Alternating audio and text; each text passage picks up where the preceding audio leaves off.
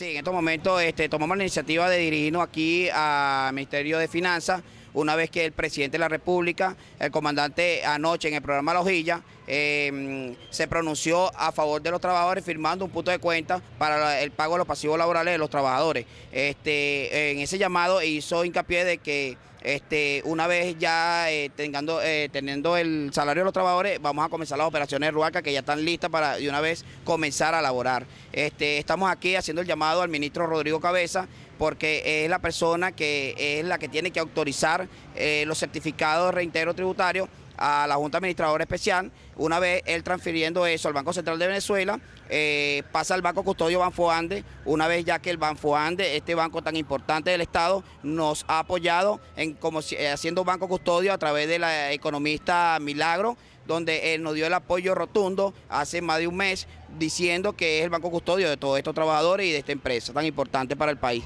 donde es la empresa que fabrica ruedas de aluminio, eh, donde se le da el valor agregado de este aluminio que es de los trabajadores de toda la nación y haciendo ese llamado importante a todas esas ensambladoras de vehículos, que es como Toyota, General Motors, Ford de Venezuela, Caraile, que nosotros fabricamos ruedas para ellos y una vez eh, estando en este conflicto perdimos los contactos, pero queremos señalar que estamos abiertos a todo el diálogo, estamos abiertos a seguir produciendo esas ruedas para ellos, para este importante país, para generar ese importante valor agregado de todos estos trabajadores y así mantener a todos esos trabajadores en esas empresas para que no se paren esa línea de producción. Estamos aquí diciéndole al ministro Rodrigo Cabeza, ministro, es importante que ya una vez que el presidente firmó eso el día de anoche en la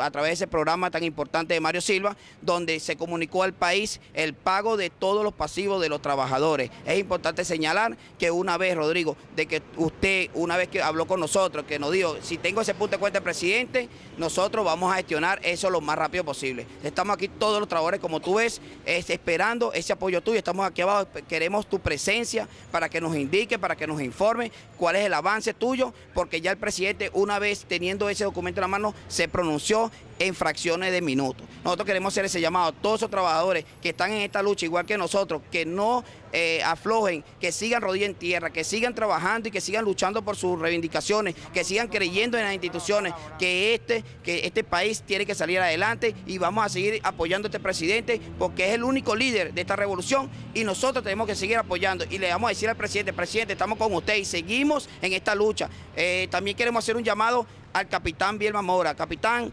usted es la persona ideal para firmar todo eso certificado para gestionar todo ese, todos esos certificados que están ahí en el Ministerio de CENIA junto con el, el CENIA de Valencia para gestionar todo ese otro dinero que hace falta para una vez este, poder arrancar la empresa y poder comprar todos esos insumos que hacen falta para empezar a producir esa rueda importante para el país, incluso para el, para el vehículo que el presidente eh, convocó, como es la rueda eh, Venezuela Móvil. Y estamos aquí representando a todos esos trabajadores y a todos los trabajadores de Rualca. Un cordial saludo a mi comandante presidente Hugo Chávez Fría, un saludo revolucionario y les quiero comentar que estamos con ustedes, los trabajadores de Rualca, rodilla en tierra, y una vez aprovecho esta oportunidad para llamar a todos los trabajadores a nivel nacional para que sigamos luchando por la reivindicación de las seis horas laborales, sigamos rodilla en tierra y con nuestro comandante hasta la muerte. El llamado que le hizo mi compañero a Rodrigo Cabeza, el capitán Vilma Mora, es importante de que ellos se aboquen a esta situación que nosotros venimos a plantearle ahorita porque fue algo que planteó el presidente anoche